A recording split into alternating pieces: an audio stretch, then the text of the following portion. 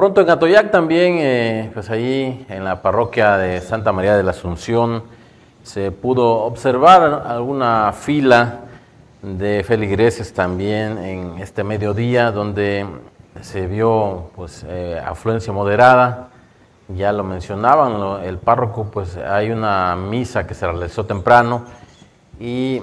eh, a las 2 de la tarde también se congregó más gente para eh, tomar la ceniza ahí en Atoyac, donde una religiosa fue la encargada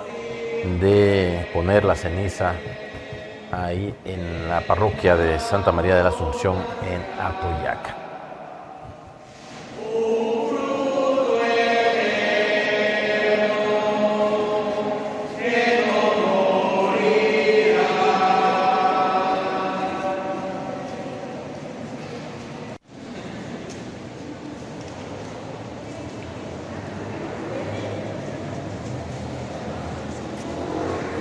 Ahí este miércoles de ceniza